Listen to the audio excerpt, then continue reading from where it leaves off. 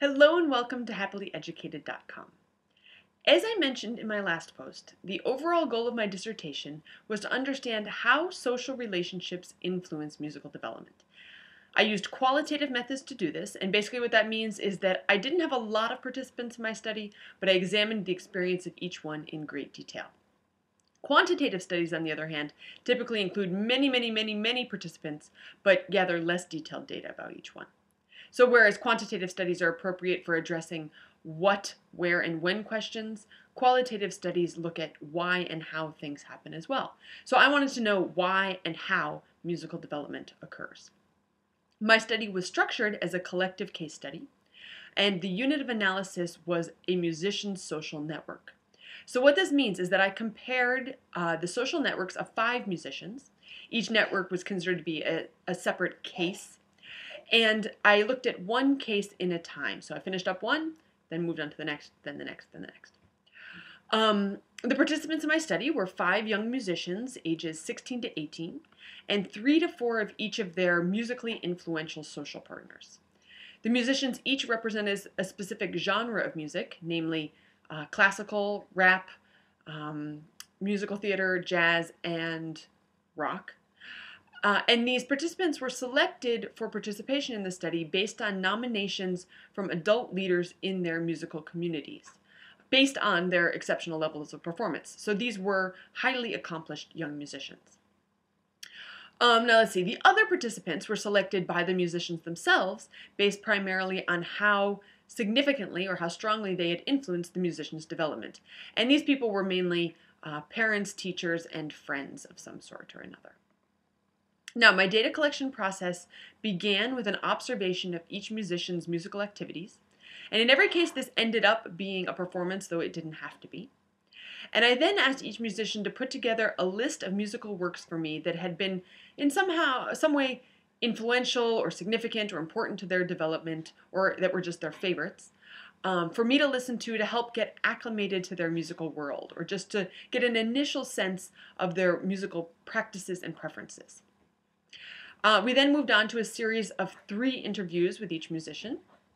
The first of which was mainly focused on getting sort of an overall biographical sketch of that musician, from first musical memory through to future goals.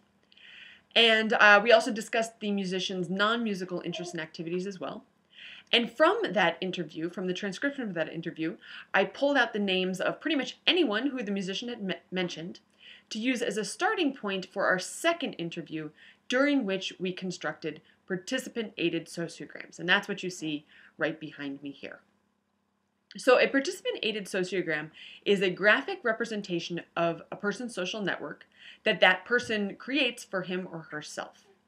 And the point here is not to get a 100% accurate social network diagram, but rather to generate conversation and thought and self-reflection on how that person had become the musician they are and who had played a role in that process. Um, I also was really very interested in the musician's perspective on how they became the musician they are. And so this this process helped to bring out those ideas basically.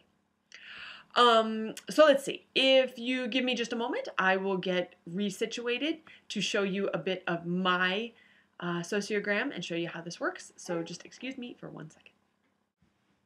Okay, I'm not sure how clearly you can see this. Um, hopefully you can't see all the individual names because I don't really want you to know all the gory details of who was involved in my development. But basically what this is, as you can see, it's very low tech, right? I've just got a piece of poster board, some little post-it notes, and we had some markers and some pencils and that sort of thing. That's all you needed to put this together. In the middle is me. That says Abby right there, just in case you can't read it. And we've got, moving out from me, these three concentric circles, okay? Going from smaller to bigger. And basically what it is, is the people who have tags right here in the inner circle are the people who influenced my musical development very strongly. Okay, so for example, there's my mom right there. If it were not for my mother, uh, I would not be playing the cello. Uh, it was all her doing, pretty much, that I played the cello. And of course, she supported me in a million different other ways as well in terms of my musical growth. Moving out from there, I have people who were less influential but still influential. And on the outermost circle are people who, yeah, they played some kind of role, but not nearly as significant. So the different colors of the tags, I selected those based on you know my personal what seemed appropriate, as did my participants, but they represent the time in my life when these people were significant. So the the pink tags here are my lifelong influences. The purple tags are my childhood influences. Blue, adolescence, and the yellow is adulthood. So that is just to give some sense of the chrono- chronology of who played a role when. Um, so, of course, family members being um, significant throughout my life, but these two kids who I knew when I was younger but have not talked to or seen since, um, they were just influential in my childhood, for example. Okay, then what else do you need to know? Um, people are grouped on this sociogram not only in terms of their relationship to me, but also in terms of their relationship to each other. So, for example, these three people right here were all friends of mine from Interlochen. So, not only did I know them, but they knew each other. So, they are right next to each other. These two people right here were brother and sister. So, they're right next to each other. Um, now, of course, it's not, you know, 100% accurate who knows who and how we're all situated, but you do the best you can when you're putting together something like this. Um, let's see, what else do I need to say? Uh, the big loop-de-loop sort of circly shapes around those, I don't even know if you can really see them, those represent some other kind of categorization. Uh, and again, this was I chose my own categories based on what seemed appropriate. My participants chose their own categories based on what seemed appropriate for them. Um, there was no sort of predictated type of categories. But I have, for example, um, a big old teacher group right here. These are all teachers who I worked with. I have a peer group, also quite, quite, quite, quite, quite large. Okay. Um, family, just my parents are in there oddly enough, you may be surprised, I have a love interests category because for me, ooh, boys were a major motivator of my musical development. In fact, I got my first kiss at music camp, which really made me want to go back to music camp the following year. So, boys were a big deal, love interests, and then I also have my failed relationships category. And something worth pointing out specifically about those, but it applies elsewhere, that not all the people who are on here were directly related to my music making. I didn't necessarily make music with all these people, or they were not all musicians. These two, for example, my best friend from, you know, uh, middle school, basically, elementary school, um, she's in the failed relationships category because if we had not stopped being friends, she just sort of randomly stopped talking to me one day. I still don't really know why. Um, if she had not stopped being my friend, I probably would not have wanted to go to Interlochen.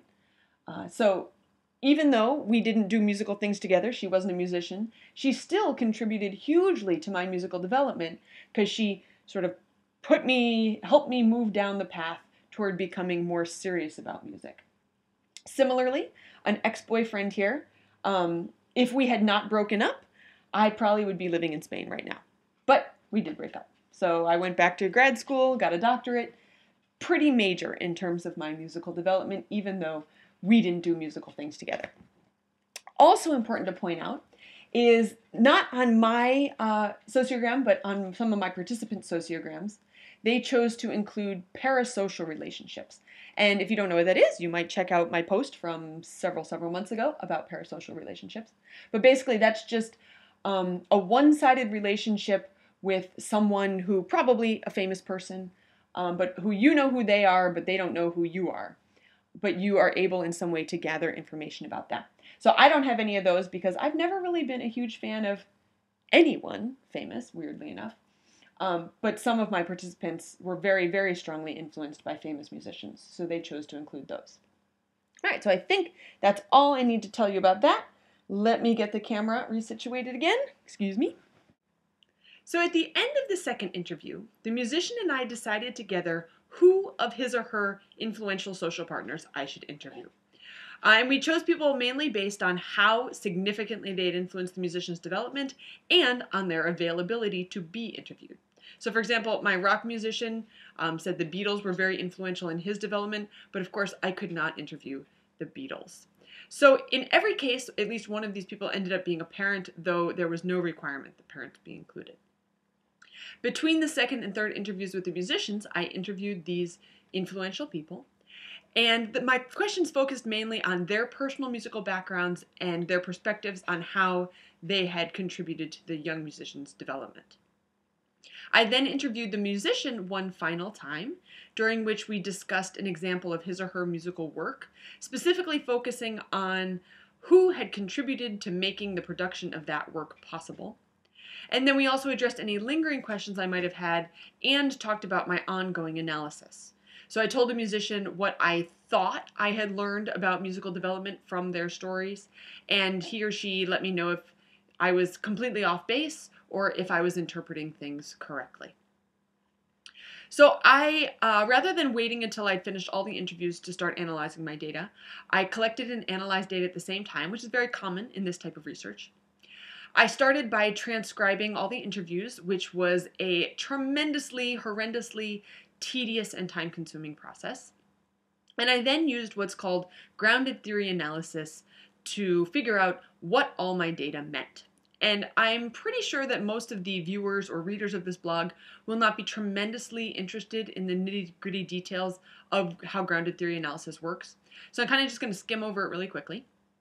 Basically, you name or code segments of data, or you give them a label to describe what they are, to represent them in some way.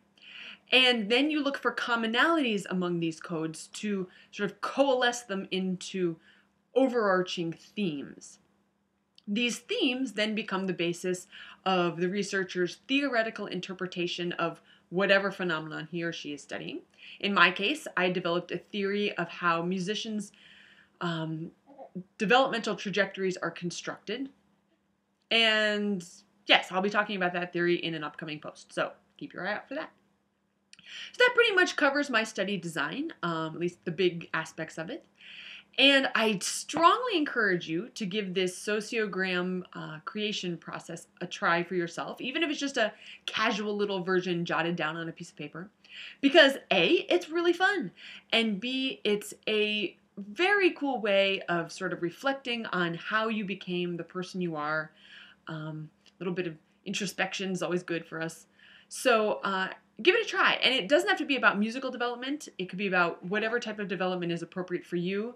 Maybe professional development, athletic development, spiritual development, moral development, whatever. It would all work. Um, and I guess that's all I have to say for today. So, oh no, it would also prepare you really well for my next post, which is going to be about how uh, information and resources flow through social networks. So until then, thanks so much for watching this and happy learning.